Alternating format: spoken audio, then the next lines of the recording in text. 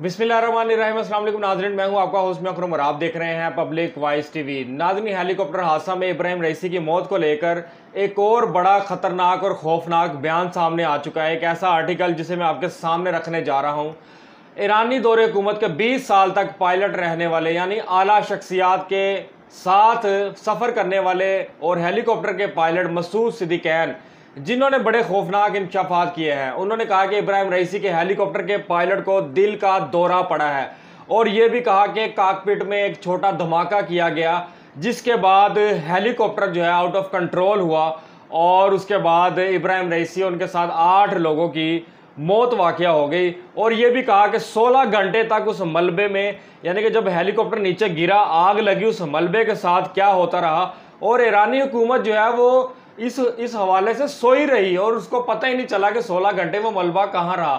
یہ مسعود صدیقین کے حوالے سے ایسی خوفناک چیزیں اور جو انہوں نے بڑے سوالات، اہم چیزیں اٹھائی ہیں اس ہیلی کاپٹر کو لے کر، وہ میں آپ کے سامنے رکھنے جا رہا ہوں۔ اور دوسری طرف انڈیا میں لوک سبھا یعنی بھارت میں عام انتخابات کا آخری مرحلہ جو ہے وہ کمپلیٹ ہو چکا ہے اور نریندر مودی کی جیت یقینی ہو چکی ہے۔ کہا جا رہا ہے کہ نریندر مودی دوبارہ جو بھارت کے تیسری بار وزیر اعظم بننے جا رہے ہیں اور اس میں دوسری جو اپوزیشن جو جماعتیں ان کو کتنے ووٹ ملے، یہ ساری چیزیں میں آپ کے سامنے رکھوں گا۔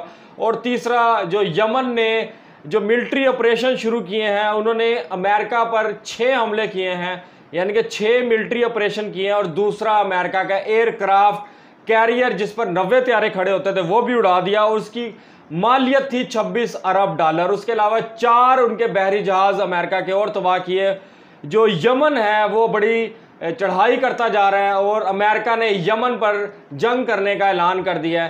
میں آپ کے سامنے رکھوں گا۔ سب سے پہلے جو ایرانی صدر کے حوالے سے میں آپ کو بتاتا چلوں کہ صدر رئیسی کا ہیلی کاپٹر سولہ گھنٹے تک کیسے لاپتہ رہا۔ ایران کے سیکیورٹی ادارے اس کا سراغ کیوں نہ لگا سکے؟ ہیلی کاپٹر کا ملبہ کہاں موجود ہے کہ یہ سوالات ہے جس کا کوئی جواب تک نہیں ابھی تک آیا۔ اور کیا ہیلی کاپٹر میں خرابی کی وجہ سے گرا کاکپٹ ہے؟ اس کے اندر کوئی دھماکہ کیا گیا ہو؟ شدید دھند اور گہرے بادل اس کی وجہ تھے۔ کیا ہیلی کاپٹر فضا میں تباہ ہوگا؟ اور یہ زمین پر ہارڈ لینڈنگ کے دوران تباہ ہوا۔ کیا یہ کوئی سوچا سمجھا منصوبہ تھا؟ ہیلی کاپٹر کے اندر لاپتہ ہونے اور ملبے کی نشاندہی کے دوران اس میں سولہ گھنٹے تک کیا ہوتا رہا؟ یعنی کہ یہ سوال تھے جو کہ اٹھائے گئے تھے اور جیسے کہ پہلی رپورٹ آئی اور اس میں کہا گیا کہ یہ کوئی مشکوک معاملہ نہیں ہے، نہ کہ ملبہ کے پاس سے کوئی گولیوں کے ہمیں کوئی ایسے شوائد ملے ہیں اور ہیلی کاپٹر جو ہے وہ پہاڑ سے ٹکرائے اور گر گئے۔ یہ پہلی دوسری رپورٹ ہے اور یہ کہا گیا کہ کوئی تقریب کاری نہیں ہے۔ لیکن بیس سال تک جو دوسرے اعلیٰ شخصیات تھے ایران کی اور جو ایران کی پچھلی دور حکومت تھی، اس کے ساتھ سفر کرنے والے یعنی پائلٹ اس ہیلی کاپٹر کے اعلیٰ شخصیات کے ساتھ جانے والے مسعود صدیقین، انہوں نے بڑے سوالات پوچھے ہیں اور یہ کہا ہے کہ اگر یہ تیز رفتاری سے پہاڑ پر ٹکرایا تو یہ کم اونچائی پر پیچھے کیوں چلا گیا؟ ہیلی کاپٹر کی دم پہاڑ پر کیسے رہ گئی؟ اگر یہ پہاڑ سے ٹکرا کر گھومنے لگا تو اس کی دم پہاڑ پر ٹھیک ٹھاک حالت میں کیوں موجود ہے؟ یعنی کہ ہیلی کاپٹر کی جو دم ہے وہ پہاڑ پر کیسے موجود رہی؟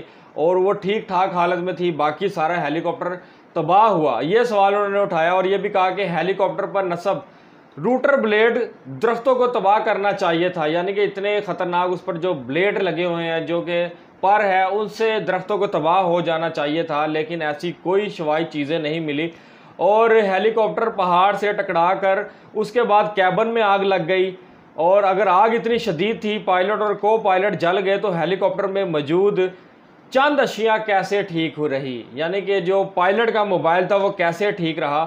اور مسعود صدیقین کا کاکپٹ میں کنٹرولڈ چھوٹے دھماکے کے امکان کو مسترد نہیں کیا جا سکتا، یہ کہنا ہے مسعود صدیقین کا۔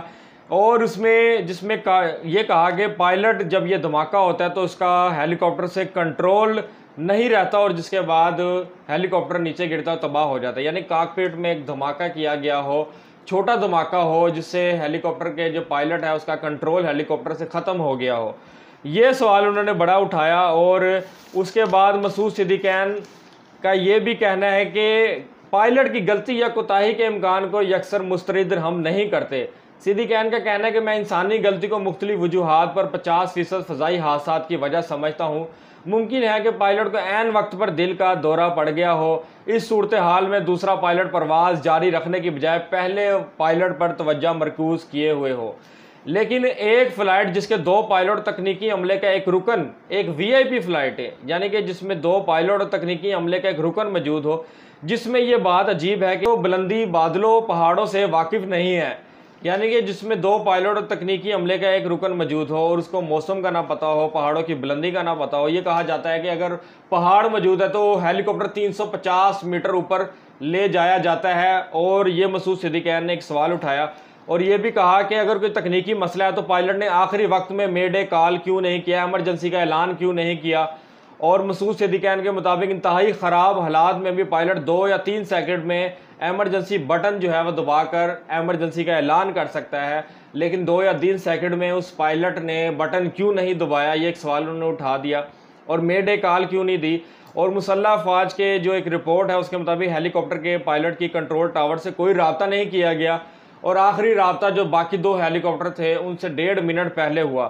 ہو سکتا ہے کہ ایمرجنسی کال کی گئی ہو، لیکن ایرانی میڈیا نے کو اس حوالے سے نہ بتایا گیا ہو اور ایرانی حکومت یا ایران کی جانب سے جو اعلیٰ عہدیدار ہے وہ اس چیز کو میڈیا کے سامنے نہ لے کر آنا چاہتے ہو۔ مسعود صدیقین کا یہ بھی کہنا ہے کہ ہیلی کاپٹر کے پرانے ہونے کا مطلب یہ نہیں کہ وہ پرواز کے لیے غیر محفوظ ہے ان کے مطابق کسی بھی ہیلی کاپٹر کی کوئی ایکسپائری تاریخ نہیں ہوتی۔ ہیلی کاپٹر کی ہر پچاس گھنٹے کی فلائٹ کے بعد اس کا تفصیلی معائنہ کیا جاتا ہے اور سو گھنٹے کے بعد ہیلی کاپٹر کا انجن کھول کر اس کے تمام حصے چیک کیے جاتے ہیں۔ یہ مسعود صدیقین کا کہنا ہے۔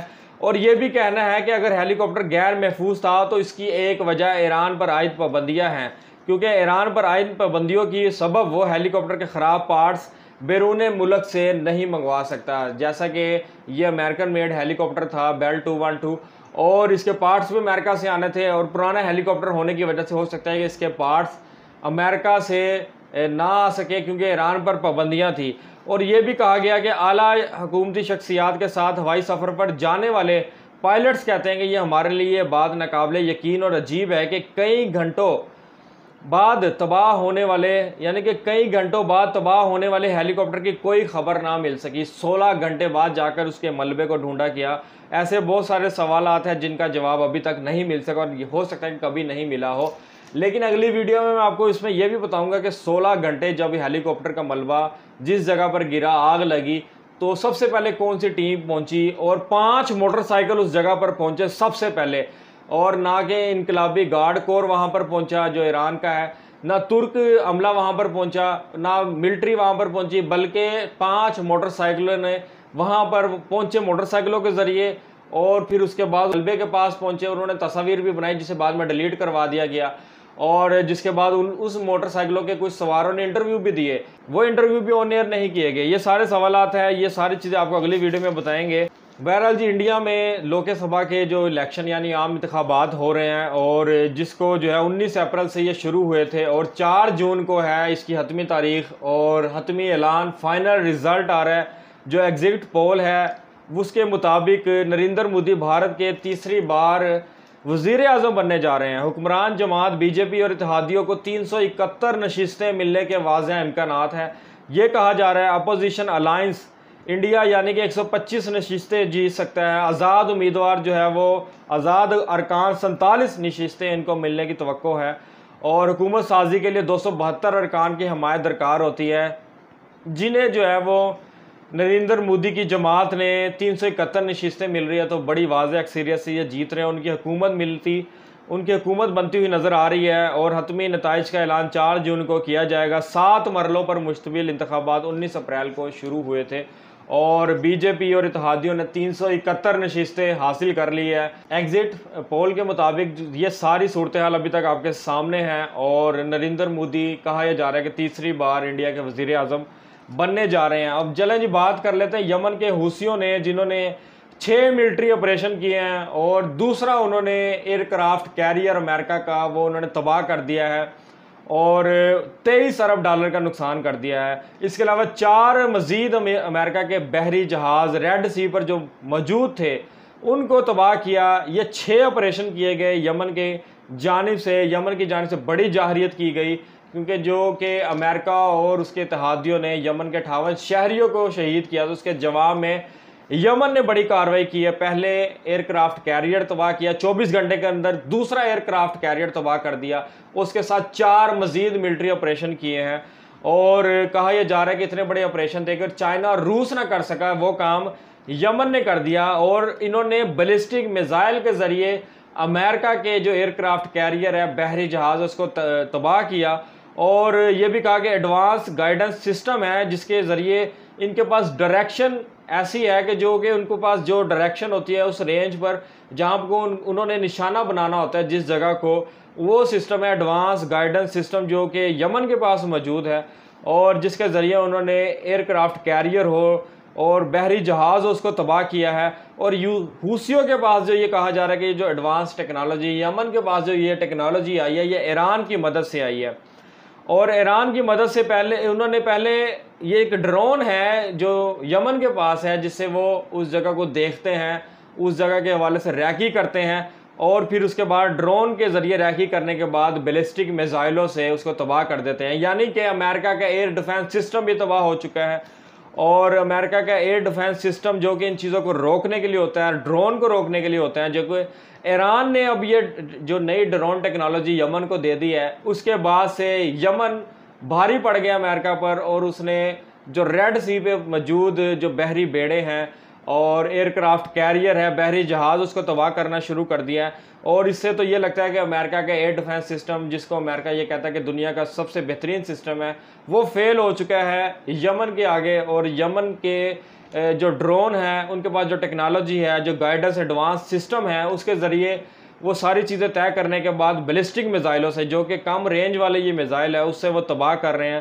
اور یمن کے پاس یہ جو امریکن جو یہ ایرانی ٹیکنالوجی ہے، جس کے پیچھے ایران ہے، اور ایران نے ابراہیم ریسی کی موت کے بعد جو حملے تیز کروا دیے ہیں، جو سلسلہ تیز کر دیا ہے اس سے تو یہ لگتا ہے کہ ایران نے لبنان ہو، شام ہو، یمن ہو، ان کو یہ ٹیکنالوجی دینا شروع کر دی ہے، جس سے چھ ملٹری آپریشن کیے گئے امریکہ پر یعنی کہ امریکہ کے جہازوں پر کیے گئے، یمن کی جانب سے، اور بڑی کامیاب رہے یہ آپریشن۔ اور اس وقت امریکہ نے یہ اعلان کر دیا کہ وہ یمن پر اب جنگ کرے گا۔ اور یمن کے حوالے سے وہ جتنے بھی جنگی علاج چیزیں تیاریں ساری چیزیں وہ لے کر آئے گا اور یمن پر بڑا حملہ کرنے جا رہا ہے۔ یہ امریکہ کی جانب سے کہا گیا ہے۔ امریکہ کے اس بیان کے بعد چائنا روس بھی میدان میں آ گئے اور یہ کہا ہے ان کی جانب سے کہ اگر یمن پر حملہ ہوا تو چائنا روس مل کر امریکہ کو نہیں چھوڑیں گے اور امریکہ کو اس جگہ پر آ کر تباہ کریں گے، کیونکہ یمن میں پہنچنا چائنا اور روس کے لیے بڑا مشکل نہیں ہے، ایران کے لیے مشکل نہیں ہے اور یہ کہا ہے۔ امریکہ کے لیے مشکل ہوگا کہ اب کون سا ملک اس کو اپنے فوجی اڈے دیتا ہے جس سے وہ یمن پر حملہ کرے۔ اگر وہ بحری جہاز پر موجود اپنے جو تیاروں کے ذریعے جو ایئر کرافٹ کیریئر پر نوے تیارے موجود ہوتے ہیں، اس سے حملہ کرے گا تو جو یمن کا سسٹم ہے، ڈرون سسٹم ہو یا ایڈوانس گائیڈنس سسٹم ہو، تو یمن اس کو بھی بلسٹک میزائلوں کے ذریعے تباہ کر سکتا ہے۔ یمن کے پاس بڑی ٹیکنالوجی ہے جس سے وہ اب امریکہ کو تباہ کر رہا ہے۔ اس کی اب اگلی جو ہدف ہے وہ اسرائیل ہے۔ اسرائیل پر بڑے جو بلسٹک میزائل ہے، جو راکٹ ہے ڈرون ہے، وہ مارے گا، بھیجے گا، اور جس سے اسرائیل کو بھی تباہ کرے گا۔ لبنان کی جانب سے بھی ایک بڑی جاہریت کی گئی۔ لبنان نے جو جو ڈرون تھا، ہرمیس نائن ہنڈریڈ، اس کو تباہ کر دیا۔ حزب اللہ کی جانب سے یہ بڑی کامیابی ہے۔ بہرحال جی اگلی ویڈیو میں میں آپ کو ڈیٹیل سے اور تمام تر ایکسکلوزیو معلومات، چیزیں آپ کے سامنے لے کر آؤں گا۔ ویڈیو کیسے لگی؟ رائے کے ذرا کمنٹ سیکشن میں کیجیے گا۔ اپنے ہاؤس میں اگر ان کو اجازت دیجیے گا لینے کے بعد۔